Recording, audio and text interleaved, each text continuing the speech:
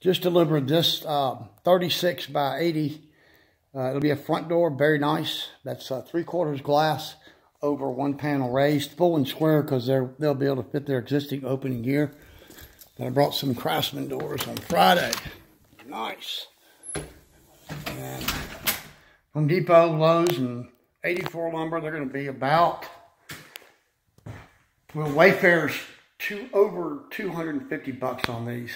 Um, I get these from the mill and I'm 159 per door.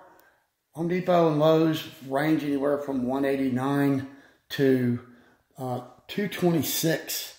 Uh, that said, these are absolutely beautiful and these are primed, finger jointed split jambs, very easy. This client wanted the Aura bronze hinges, which are nice. That's the hinge protected there. Very nice. And um, it's going to look really good with the floor here that we sold as well, and that is Geisha Walnut.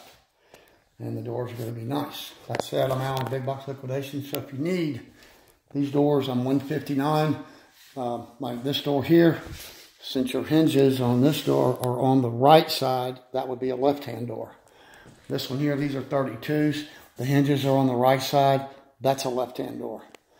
On this one, the hinges are on the left side. That's a right-handed door. These are beautiful Craftsman doors. Uh, I'm out on Big Box Liquidation. I can bring them to your project. Just send me your list, and we'll get them ordered for you. Thank you.